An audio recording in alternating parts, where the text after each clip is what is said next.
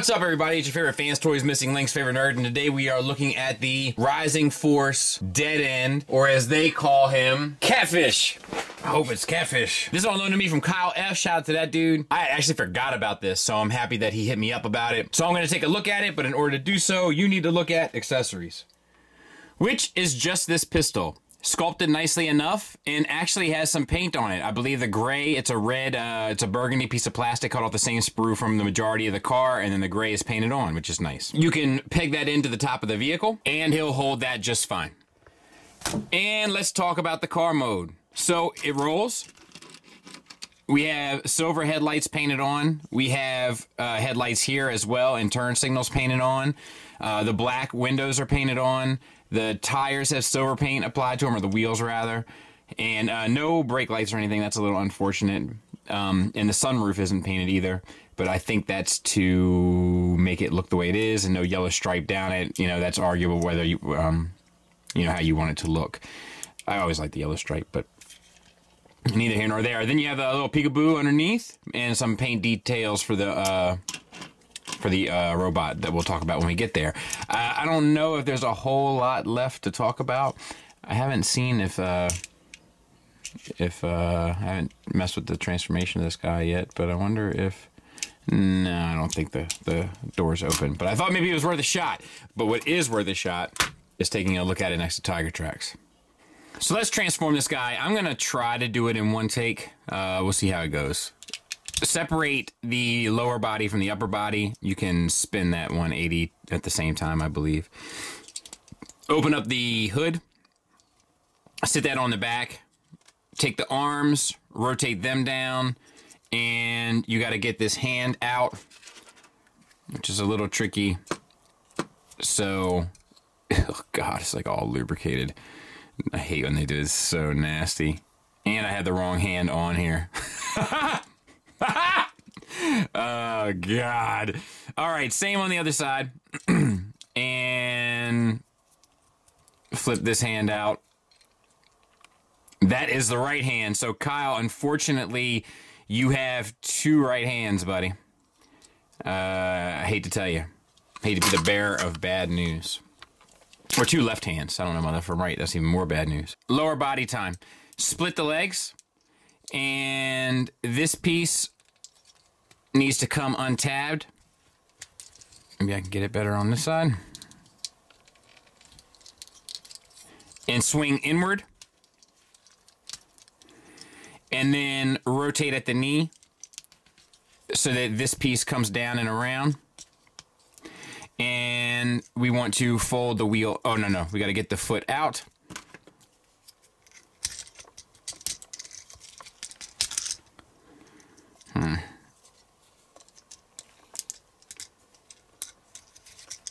There it is.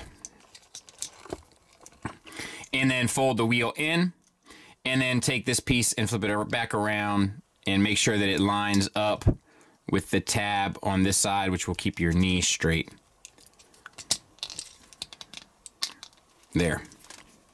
So, same thing. Flip this piece out.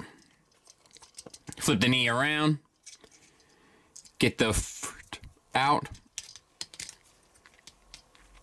and tuck the wheel in. Close this bit back around it.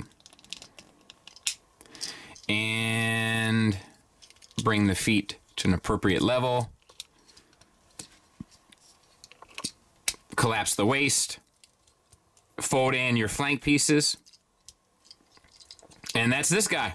I'll clean him up. We'll take a look at him We'll get in tight on the head skull for Dennis. It's okay. I feel like the visor, or not the visor, the mouth plate sits down too far. Like the mouth plate should be up here. Like proportionately, I think it's a bit off. The visor's painted purple. The face is painted gold. That's done nice enough. The head itself is on a ball peg. You do get nice up, a little bit down, left, right. Uh, that's about it. The shoulders are on ball pegs. Everything's pretty much on ball pegs. Loose, loose ball pegs. Let me back out just a taste. But they also hinge inside the chest, so using both, you can get it past 90 degrees. It's a wobbly mess, though. Um, And yeah, that's about it there. You get the 360 around, obviously. Um, you have an elbow that is on a single hinge and it gets you a little bit past 90 degrees. You also get your bicep swivel there. Once again, kind of a wobbly, floppy joint. And then your wrist is on a ball peg, so it gets a swivel in and an out motion. Um, hopefully yours comes with the right ones.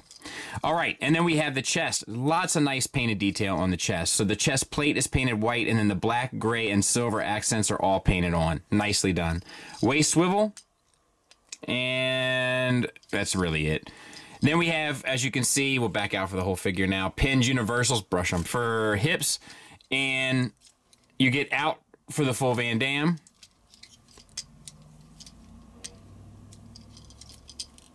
Little weird tolerance there. Forward and back for the full Monty, I think. It feels like these two joints are almost connected, like I can't move one without moving the other, but that doesn't make any sense. So I don't know. I don't want to break this guy's figure. Uh, so I'm not sure there. It should be enough range to get you what you need, to be fair. Thigh swivel. Plastic looks a little chewed and gnarled up, to be honest. Knee is on a single hinge that gets you 90 degrees. And then we have an ankle tilt down, slight ankle tilt up, and a rocker. So I mean, it has the base level of um, articulation and stuff. It's just it feels very novice. And I mean, I know this is their first go at it, but it's like it just doesn't have the kind of build quality, in my opinion, to really compete in the modern space, um, which is unfortunate. But let's go ahead and take a look at some size comparisons. Size comparison wise, there he is with the Magic Square Prime and the New Age Megatron. So he's a little taller, I feel like, than most of the Legends. I'll know for sure here in a minute, but I think that's appropriate. Uh, the, the Stunticons were a little bit taller than most people remember, and they were a little bit taller than the Carbots, et cetera, et cetera. So that actually might be a blessing.